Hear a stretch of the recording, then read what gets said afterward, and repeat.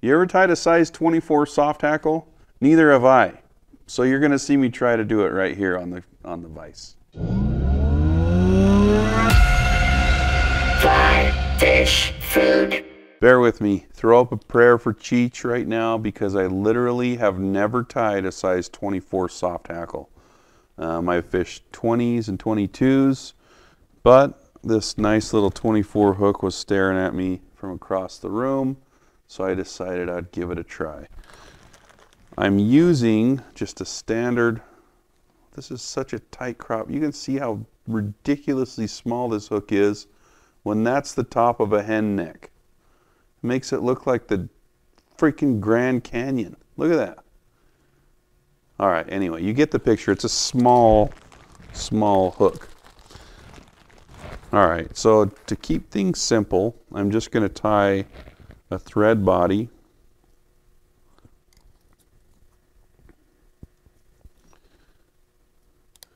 Keep it nice and flat. Build up a little bit of taper. And then when I'm back here oh, that's too wide.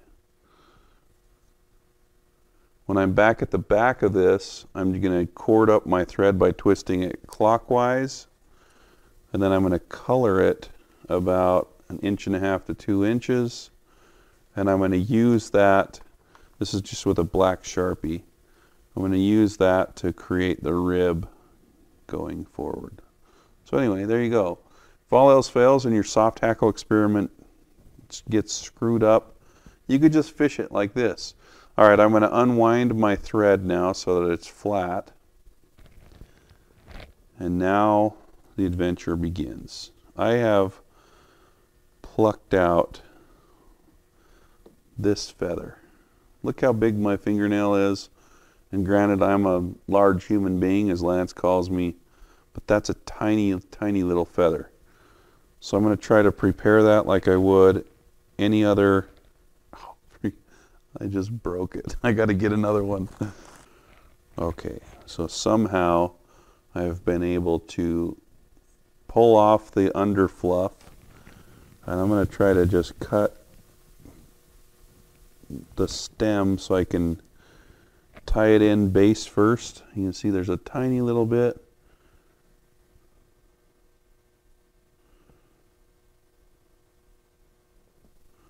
All right.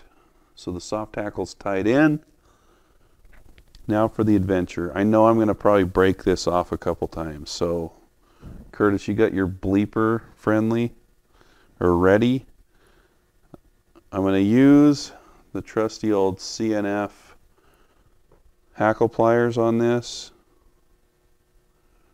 And we're just going to give it a try.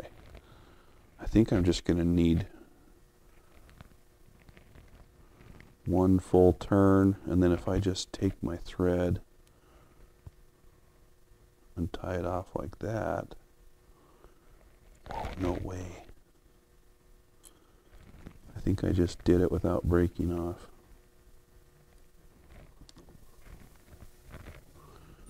Okay so I've just got a few of those fibers tied in. And I shouldn't have to preen this back too much if I just take my thread back over those soft hackles it will preen them back. There we go folks